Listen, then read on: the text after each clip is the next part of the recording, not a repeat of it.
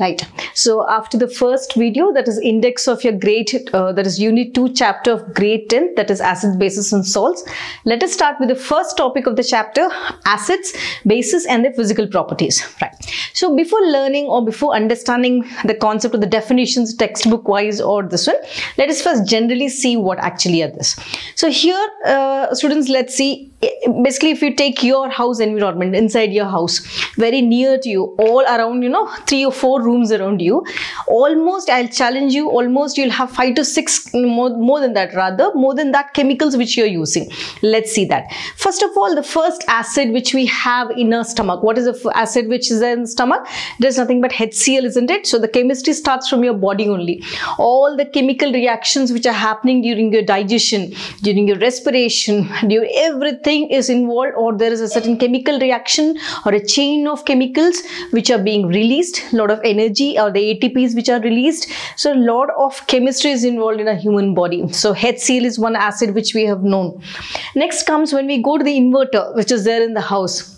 That has which acid? Sulfuric acid. So one more chemical which is nearby as i said two to three or three to four rooms around. Next comes when i go into a refrigerator. Inside the refrigerator you have one more chemical that is a fruit salt or the eno which we'll use it as an antacid. Yes or no? Yeah next let us come back to on your table. On your table you have vinegar or acetic acid. You would have seen your mom adding vinegar as a preservative. Vinegar or the dilute acetic acid is used is in the pickles also. So that is one more chemical which you are using. One more let me see. Yes. So one more thing is your soft drink in your refrigerator. As soon as you open your soft drink bottles what gases evolve? It's nothing but carbon dioxide gas. Yes. So carbonic acid is acid which is used in in your soft drinks or the fizzy drinks. One more chemical. I think i have listed of four or five. One more acid which is there in your refrigerator. It's nothing but in your tomatoes. Yeah? Your, your okay there is tamarind that is citric that oh, if i have to say tomato tartaric acid is there in that. You have lemons in your refrigerator where you have citric acid in that. Just see students the whole world you know everywhere it has it is you know there's a usage of a base as a chemical. Right? So acids are those first important concept which i said acids are those substances which are sour in taste. But remember never ever taste. Natural things suppose let us take a, a lemon. What acid does it have? As i said lemon has an acid called citric acid.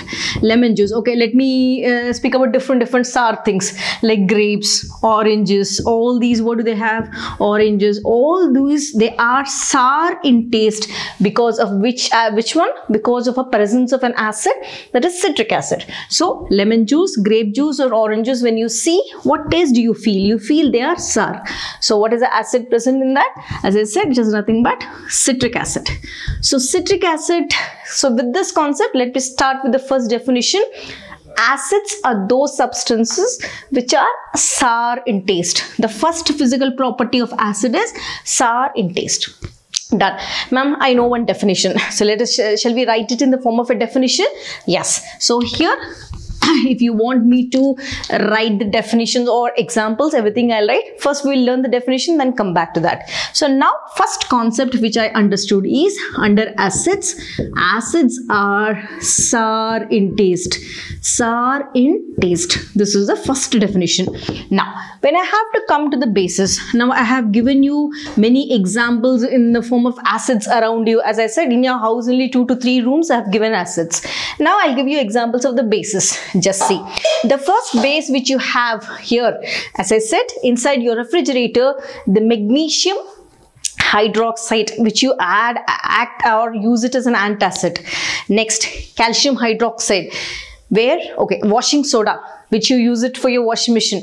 Baking soda which you use it in the refrigerator for means you keep it in your refrigerator for baking cakes pastries fluffy bread.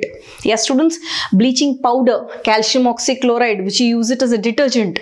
Yes students? Next. You also have ammonia which they use it in cosmetics also but it's a heavy heavy high ammonium hydroxide strong this one which will bleach of everything yes students. So so many bases are included uh, in your daily life even salts also. Sodium bicarbonate is a salt. Calcium oxychloride is a salt. So bases and salts, are many chemicals which are used, but remember bases never try to taste it even in the lab. Bases are bitter to taste. Base stands for bases are bitter to taste. So acids are sour to taste is one physical property. Bases are bitter to taste. Done. So now i understood acids are these bases are these. Ma'am how will i should i experiment testing it? Nothing students remember. An acid there are again two categories. One would be a strong acid and a weak acid base, strong base and a weak base. Remember in the lab when you're performing certain experiments, don't try to test it with your tongue because the tongue, you never know the sensitivity of the tongue immediately that may create a hole or a blister on your tongue also on your body that's why we, we say try using lab coats. So acids are sour to taste bases are bitter to taste. That's why whenever you're performing an experiment in the lab you need to take a dropper or a pipette to transfer the things. Okay students? So once again let us sum up. Acids are many which we are using.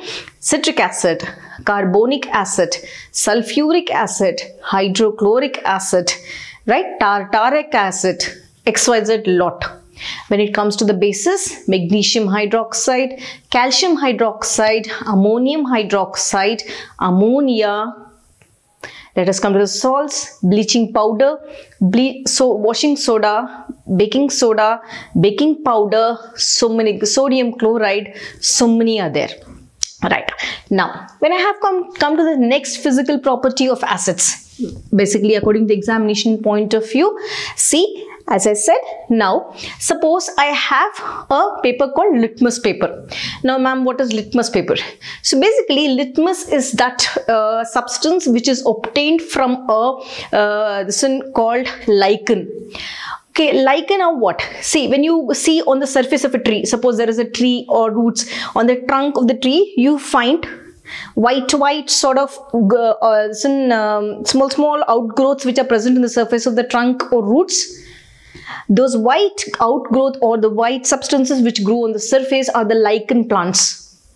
So what they do, they take out, they extract that lichen powder, they mix it with water, then it becomes that white substance which uh, when you mix it with water, we call it as litmus solution. So litmus is an indicator which is obtained from where? From lichen. Let us write that. So litmus is an indicator which I obtain it from lichen. So lichen is a plant which is present in the surface of the roots, present in the surface of the trunks. So it's mostly found in South America, Norway, Sweden, all these areas. Lichens population or the growth is more. So that I take this or collect that scrape out, I mix it with water. So this becomes which solution? Litmus solution. So litmus solution is one category where I can use it whether the particular substance is an acid or a base. Next thing, litmus instead of litmus solution, they prepare litmus papers also. So there are two varieties of litmus papers. They are red litmus paper and blue litmus paper. So the second test would be with litmus paper. So now I told you the story from where I got litmus paper. I got it from lichen plant. Lichen plant will be present on the roots or the trunk of the trees. I take that, scrape it and mix it with water and it becomes litmus solution or they prepare litmus papers red and blue. Suppose this litmus paper, there are two varieties as I said red and blue. Remember when I take an acid, when I take that and the litmus paper, if I take a red litmus paper and dip it, suppose this is a test tube. Here let me draw, okay. So this is a test tube, I am dipping red litmus paper. Now I have which one? I have an acid called dilute HCl in this. So when I dip a red litmus paper, remember the litmus paper should be moist, then only it will work right? So the red litmus paper when you dip in HCl red remains red only. So what is the conclusion? In acids the red litmus paper remains red. Done. Same thing if I take a blue litmus paper and I dip it in a test tube which has dilute HCl so in dilute HCl remember moist litmus paper. In the blue litmus paper in acids will turn red So the concept is red litmus paper in acids is red. Blue litmus paper in acids is red. So finally the conclusion red would be the color of litmus in acids. Done. Same concept I come here. So second thing, I am going to take a red litmus paper and dip it in a test tube containing sodium hydroxide. Sodium hydroxide is a base. Ma'am, why base? Because the substances which have OH minus ions are bases. Let us take, take some examples. Sodium hydroxide, calcium hydroxide, magnesium hydroxide, barium hydroxide. So many number ammonium hydroxide. So whichever has OH ions, we call it as a base. Now what am I going to do? I'm going to take the red litmus paper, moist it, means I get wet it and then dip that moist red litmus paper into sodium hydroxide solution. So remember here in acids, red litmus was red only. But in bases, red litmus paper is going to turn into blue. The indication of the base is blue. Now, the same way around, I am going to take a blue litmus paper and again take sodium hydroxide in this and I am going to dip this blue litmus paper into this. I said in base, blue litmus paper remains blue. So the color of the base is blue. Now let us take out everything and write fresh and neat. So for my understanding, for a litmus test, what should I remember in the exam? I have to remember when it is red. In a test, in an exam, for acids, if it is red litmus paper, it remains red only. If it is a blue litmus paper, it is going to turn red. The other way around, if I have to understand, in bases, blue litmus turns red. Okay, correct? No. Blue litmus remains blue and red litmus turns blue. So the color of the acid is red, the color of the base is blue in color. So that, that's a physical test of the acid.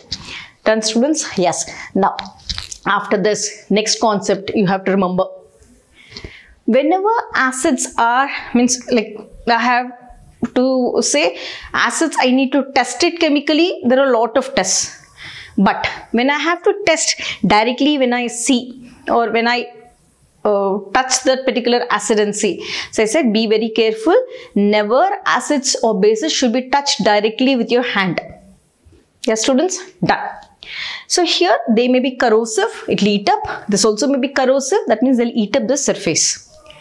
Next thing, acids are classified into two categories which I'll be testing with a paper called, I'm writing here, that is pH paper. Physically, I'm going to see, I'm not going to do any chemical reactions. So pH paper is that which will explain me whether the acid is strong or weak. So pH paper will decide the two classes of acids that is the first category is a weak acid and the second category is a strong acid strong acid. So weak acid and strong acid. Same thing. The pH paper is going to explain me whether the acid or the base is weak base or whether the base is strong base. So these are the physical properties, simple things. I have to remember what is the taste of that I have to remember how does it respond to the litmus paper. I should also remember what are what does how does they respond to the ph paper? Yes students simple very nothing no logic it's simple basic direct questions.